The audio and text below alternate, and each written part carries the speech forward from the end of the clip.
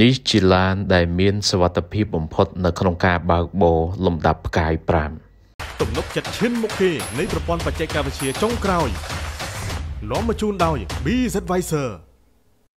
ហ្មងបុកចំជាទូទៅឡានម៉ាស៊ីនហើយឡានម៉ាស៊ីនមិនមានមិនមានម៉ាស៊ីននៅខាងមុខឃើញទេតើពេលបុកទៅម៉ាស៊ីនតានេះហៀប្រេហៀអីវាអាចផ្ទុះមែនទេ ប៉ុន្តែ Tesla បុកទៅអត់ផ្ទុះទេនេះហ្នឹងតោះនេះឃើញទេនេះអានេះគេតេស្តឲ្យមើលបុកទៅគឺអត់ផ្ទុះទេដោយសារហេតុអីវាអត់មានសាំងហូហៀឲ្យវាផ្ទុះផងមែនទេពិសេសមួយទៀតដែលធ្វើឲ្យសុវត្ថិភាពឡានរបស់ Tesla នឹងគឺខ្លាំងគឺវាអត់ក្លាប់បាទដូចទាំងអស់គ្នាមើលនៅក្នុងវីដេអូអញ្ចឹងវាត្រូវក្លាប់វាអត់ក្លាប់ទេវាត្រូវបកមកវិញអញ្ចឹងអញ្ចឹងអានេះគឺដោយសារតែការ design ថ្ម នៅខាងក្រោមនឹងបានល្អបាទ តាមអឺរូបវិទ្យាហើយដល់ពេលអញ្ចឹងគឺឡានហ្នឹងវាតែងតែឈរឡើងវាមិនមានទំនោរទៅខាងក្លាប់ណាក្រុមហ៊ុន HR 168មានផ្គត់ផ្គង់គ្រឿងកសិកម្មគ្រប់ប្រភេទដូចជាម៉ាស៊ីនផលិតនិងសូនចំណីសត្វម៉ាស៊ីនវាយចំណីសត្វនិងជីកំប៉ុស្តម៉ាស៊ីនកិនស្រូវនិងសម្ភារៈកសិកម្មជាច្រើនមុខទៀតគ្រប់ផលិតផលទាំងអស់ក្រុមហ៊ុនមានការធានាជូនរយៈពេលពេញមួយឆ្នាំ HR 168ជាដៃគូអាជីវកម្មរបស់លោកអ្នក ជីវិតខ្ញុំអើយកើតមកលំបាក់លហើយនឹងគេដែរតែត្រូវខំប្រឹងធ្វើការហត់តាំងពីក្មេងរហូតដល់មានគ្រួសារតស៊ូនឹង បាទកាលពីឆ្នាំ2021កន្លងទៅនឹងឡាន Tesla ត្រូវបានធ្វើតេស្តបាទធ្វើតេស្តនៅក្នុងការបើកបរសវត្ថភាពនៅក្នុងការបើកបរនៅពេលដែលវាបុក នៅពេលដែលវាកឡាប់នៅពេលដែលវាគោះថ្នាក់ចរាចរណ៍អញ្ចឹងណាអឺហើយជាក់ស្ដែងគឺ model Tesla Model 3ហើយ Tesla Model Y បាទឡាន Tesla ទាំងពីរនេះធ្វើតេស្តទៅនិយាយរួមជាប់សវត្ថភាពលំដាប់ផ្កាយ5បាទជាឡានដែលមានសវត្ថភាពបំផុតនៅអាមេរិកបាទនេះគឺជាចំណុចពិសេសមួយដែលខ្ញុំចង់ទាញសម្រាប់ឡាន Tesla បាទអឺមកបង្ហាញជាករណីសម្រាប់គ្នាយើងគិតនៅក្នុងការកសាងផលិតផលរបស់ខ្លួនឯងឲ្យវាចេញចំណុចពិសេសបែបបែបអញ្ចឹង បាទមិនមែនផ្កាយមួយផ្កាយពីរគឺផ្កាយ5ហ្មងបាទហើយអឺជាក់ស្ដែងអឺតោះគ្នាបានស្គាល់បាទឡាន Tesla គឺ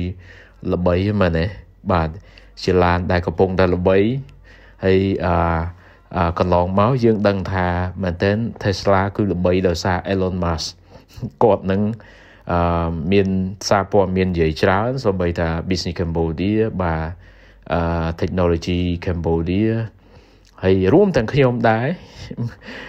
និយាយច្រើនពី Elon Musk ដែលសារគាត់មានរឿងអស្ចារ្យជាច្រើន ដែលខ្ញុំគិតថាយើងនៅស្រុកខ្មែរគួរតែនាំគ្នាដឹងហើយដឹងគឺដើម្បីអីគឺដើម្បីយើងយកធ្វើជាគំរូនៅក្នុងការរស់ស៊ីខ្លួនឯងបាទអញ្ចឹង Tesla ល្បីដោយសារ Elon Musk ទី1ទី2ខ្ញុំគិតថា Tesla គឺល្បីដោយសារវាជាឡានអគ្គិសនី បាទអញ្ចឹងវាជួយទៅដល់បញ្ហាបរិស្ថានច្រើនហើយខណៈពេលដែលពិភពលោកកំពុងតែនាំគ្នា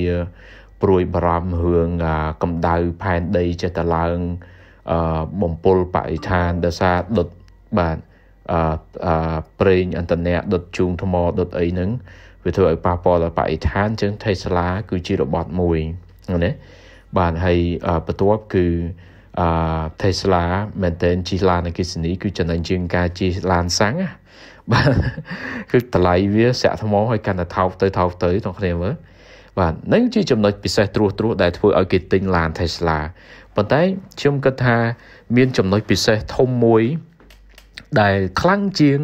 ចំណុចពិសេស1 2 3ដែលខ្ញុំលើកឡើងមិញហ្នឹងបាទគឺសវត្ថភាពបាទសវត្ថភាពនៅក្នុងការបើកបរនៅពេលដែលប៉ះទង្គិច ហើយនៅក្នុងហ្នឹងគឺ Tesla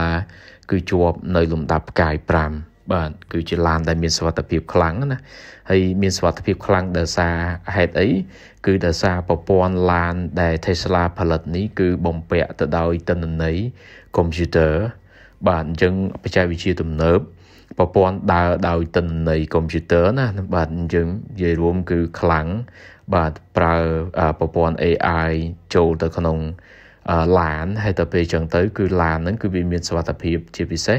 គឺនៅពេលដែលប៉ះទង្គិចចឹងលើកឧទាហរណ៍ដូចជាពងសុវត្ថិភាពវាលោតមកវាទាន់ពេលជាមួយនឹងឡានដែលវាកំពុងតែប៉ះទង្គិចអញ្ចឹងណាបាទអញ្ចឹងវាបំពាក់ឡានវាឆ្លាតណាគេហៅ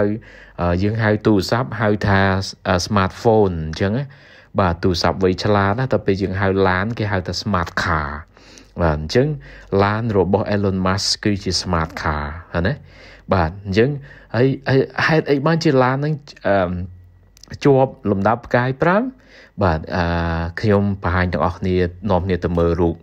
អឺហើយនឹងវីដេអូខ្លះខ្លះបាទអញ្ចឹងទី1គឺឡានអឺឡាន Tesla និយាយរួមអឺគឺល្អជាងឡានអឺ ម៉ាស៊ីនណាបាទឡានឡានសាំងឡានម៉ាស៊ុតណាបាទនិយាយរួមគឺឡានអគិសនីល្អជាងឡានសាំងឡានម៉ាស៊ុតនៅត្រង់ណា នៅត្រង់ថា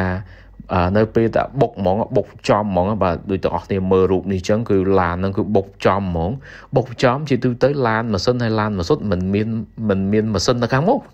មែនទេតើពេលបុកទៅម៉ាស៊ីនតានេះហៀប្រេងហៀអីវាអាចផ្ទុះមែនទេប៉ុន្តែ Tesla បុកទៅអត់ផ្ទុះទេនេះហ្នឹងតើនេះឃើញណា នេះអានេះគេតេស្តឲ្យមើលបុកទៅគឺអត់ផ្ទុះទេដោយសារហេតុអីវាអត់មានសាំងហូហៀឲ្យវាផ្ទុះផងមែនទេ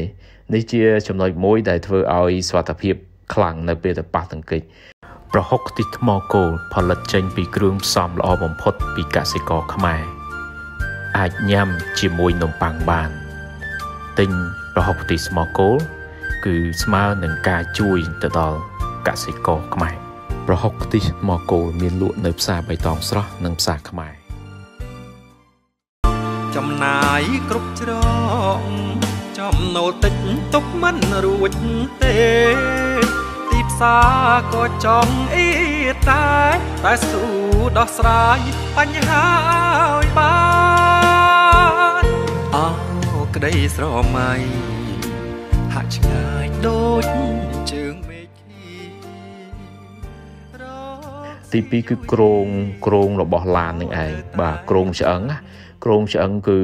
Elon Musk គាត់ប្រើដែកមមជាងឡានផ្សេងផ្សេងបាទនេះហើយដែលអាចទល់ទំងន់ប្រសិនបើត្រូវឡានធំបុកមួយឡានតូចអញ្ចឹងគឺវានៅអាចអាក្រងនឹងវាការពារមនុស្សនៅខាងក្នុងបានអញ្ចឹងពងសវត្ថភាពគឺការពារហើយប៉ុន្តែគឺក្រងឆ្អឹងរបស់ឡានហ្នឹងក៏ការពារមួយកម្រិតទៀតដែរ បាទនៅពេលដែលមានការប៉ះទង្គិចពីចំហៀងអីចឹងណាមានការប៉ះតង្ហិចពីចំហៀងឬក៏មាន ពីលើមកជាពិសេសមួយឡានធំអីចឹងហើយខ្ញុំមើលឃើញចំណុចពិសេសមួយទៀតដែលធ្វើឲ្យសវត្ថភាពឡានរបស់ Tesla ហ្នឹងគឺខ្លាំងគឺវាអត់ក្លាប់បាទហើយកម្រឃើញក្លាប់បាទហើយឃើញគ្រោះថ្នាក់បាទឃើញគ្រោះថ្នាក់ អឺនៅតាមសារព័ត៌មានអីផ្សេងផ្សេងហ្នឹងគឺគ្រាន់ថាវាបែកបាក់វាបែកកញ្ចក់វាខ្ទេចទ្វាអីអីចឹងប៉ុន្តែប៉ុន្តែនៅពេលនេះដូចទាំងអស់គ្នាមើលនៅក្នុងវីដេអូអញ្ចឹង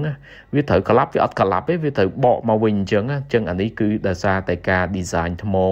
នៅខាងក្រោមនឹងបានល្អបាទតាមអឺរូបវិទ្យាហើយដល់ពេលអញ្ចឹងគឺឡានហ្នឹងវាតែងតែឈរឡើងវាមិនមានទំនោរទៅខាងក្លាប់ណា បាទនេះគឺជាចំណុចពិសេសពិសេសដែល Tesla បានចំណាយពេល Elon Musk ហើយមួយក្រុមការងារគាត់នឹងបានចំណាយពេលច្រើន គឺកសាងនៅឡាន ដែលវៃឆ្លាតហើយវាមានចំណុចពិសេសដែលអ្នកទិញចង់ទិញតែម្ដង បាទអញ្ចឹងអញ្ចឹងនេះគឺជាគំរូមួយពិសេសសម្រាប់គ្នាយើង ដែលកំពុងបង្កើតផលិតផល បាទបង្កើតទោះបីយើងមិនបង្កើតឡាន ដោយគាត់ទៅដោយប៉ុន្តែយើងបង្កើតផលិតផលផ្សេងផ្សេងទៀតគ្រឿងសម្អាងបង្កើតនៅផលិតផលផ្សេងផ្សេងទៀតដូចជាអឺអ្នកខ្លះធ្វើរថយន្តដែរបាទហើយកៅហ្នឹងអ្នកខ្លះធ្វើនាฬิកាអ្នកខ្លះអឺចិញ្ចឹមត្រីអ្នកខ្លះធ្វើអីផ្សេងក៏ដោយតោះនេះរស់ស៊ីអីក៏ដោយ បាទនិយាយយ៉ាងខ្លីសូមនាំគ្នាបដោតសំខាន់ទៅលើចំណុចពិសេសនេះឲ្យបានខ្លាំងបាទចំណុចពិសេស អឺគឺវាទាញភ្ញៀវឲ្យមករោមទិញហ្មងដូចដូចមករោមទិញ Tesla អញ្ចឹងណាដូចគ្នាអញ្ចឹងដូចទៅរោមទិញទូរស័ព្ទ iPhone ចំនួន Steve Jobs អញ្ចឹងចំណុចពិសេសវាខ្លាំងអញ្ចឹងអញ្ចឹងនាំគ្នា បាទគួរចំណាយពេលឲ្យច្រើន នៅក្នុងការកសាងចំណុចពិសេសរបស់ខ្លួនឯង បាទហើយបើកសាងចេញហើយគឺមិនចាំបាច់ផ្សាយច្រើនទេផ្សាយពាណិជ្ជកម្មណាបាទគឺផលិតផលនឹងវាទៅផ្សាយជំនួសយើងហ្មង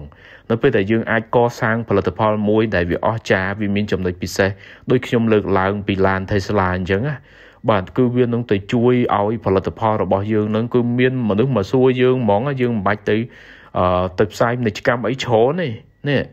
ហើយតោះនេះចង់បានអញ្ចឹងទេ បាទបើចឹងចង់បានអញ្ចឹងទេនាំគ្នាកសាងចំណុចពិសេសឲ្យបានខ្លាំងហើយអឺក្បួននៅក្នុងការកសាងចំណុចពិសេសគឺមាននៅក្នុងសិភៅលក់អារម្មណ៍បាទខ្ញុំបានសរសេរយ៉ាងលម្អិតហើយអឺ ចំណុចពិសេសដែលខ្លាំងបំផុត គឺមាននៅក្នុងសិភៅលក់អារម្មណ៍បាទអាគ្នាយើងអត់ទាន់បានសិភៅនឹងអានទេនាំគ្នាយកទៅអានទៅ វានឹងជួយទៅដល់ការលក់របស់អ្នកទាំងអស់នេះឲ្យមានការកើនឡើងអញ្ចឹងដោយ Tesla អញ្ចឹងជាលទ្ធផល ឆ្នាំ2021គឺការលក់របស់គាត់នឹងគឺមានរហូតទៅដល់9សែនអា36ម៉ឺន 36000គ្រឿងបាទគិតទៅធៀបមួយឆ្នាំ2020គឺមានការកើនឡើង87%អស្ចារ្យអស្ចារ្យមែនទែនបាទនេះគឺដោយសារតែ Tesla មានចំណុចពិសេសបំផុតមួយ គឺសវត្ថភាពបំផុតលំដាប់ផ្កាយ5នៅអាមេរិកហេសួស្តីខ្ញុំបាទស៊ីដេតអ្នកប្រកាសជាគិតថាខ្ញុំសង្ហាហើយនឹងរីរាយខ្លាំងណាស់ពិតប្រកបហើយ ប៉ុន្តែពេលមុនខ្ញុំមានបញ្ហាជាច្រើននៅលើអាជីវកម្មរបស់ខ្ញុំទំនិញចេញនឹងចូលច្រើនជារៀងរាល់ថ្ងៃទោះបីជាបុគ្គលិករបស់ខ្ញុំច្រើនក៏ការគ្រប់គ្រងរបស់ខ្ញុំនៅតែមិនមានប្រសិទ្ធភាពពេលខ្លះទំនិញក៏បាត់ហើយពេលខ្លះទៀតទំនិញក៏លើសតែភាគច្រើនវាតែងតែបាត់មូលហេតុនេះហើយដែលធ្វើឲ្យខ្ញុំមានភាពស្មុគស្មាញខ្លាំងណាស់ នេះគ្រាន់តែជាបញ្ហាមួយផ្នែកនៃអាជីវកម្មរបស់ខ្ញុំអ្វីដែលជាបញ្ហាធំគឺតកតទៅនឹងការគ្រប់គ្រងចំណូលចំណាយមិនច្បាស់លាស់ចំណុចដែលសំខាន់មួយទៀតនោះគឺបំណុលអតិថិជនរបស់ខ្ញុំគឺមានចំនួនច្រើនវាតែងតែធ្វើឲ្យខ្ញុំមានការភ័ន្តច្រឡំជាញឹកញាប់ហើយពេលខ្លះវាធ្វើឲ្យខ្ញុំមិនមានប្រាក់គ្រប់គ្រាន់ដើម្បីទិញទំនិញទុកសម្រាប់លក់បញ្ហាទាំងអស់នេះធ្វើឲ្យខ្ញុំពិបាកចិត្តខ្លាំងណាស់ អ្នកប្រកាសជាឆ្ងល់ហើយមែនទេតើអ្វីដែលធ្វើឲ្យខ្ញុំរីករាយនៅពេលនេះនៅពីក្រោយចម្លើយនេះគឺខ្ញុំបានប្រើប្រាស់ជាមួយកម្មវិធីគ្រប់គ្រងតាមប្រព័ន្ធកុំព្យូទ័រ Easy Inventory and Accounting Management System វាពិតជាធ្វើឲ្យអាជីវកម្មរបស់ខ្ញុំមានការរីកចម្រើនខ្លាំងណាស់លុបបំបាត់ភាពស្មុគស្មាញលុបបំបាត់ការភ័ន្តច្រឡំហើយធ្វើឲ្យប្រាក់ចំណេញរបស់ខ្ញុំមានការកើនឡើងបាយបាយបញ្ហាទាំងឡាយដែលតែងតែយីយីអាជីវកម្មរបស់ខ្ញុំចុះអ្នកទាំងអស់គ្នាមានប្រឈមមុខនឹងបញ្ហាដ៏សែនឈឺក្បាលដោយខ្ញុំពេលមុនដែរឬទេប្រសិនបើមានសូមតាក់ទងមក BZ Advisor នៅពេលនេះ BZ Advisor Simplify your business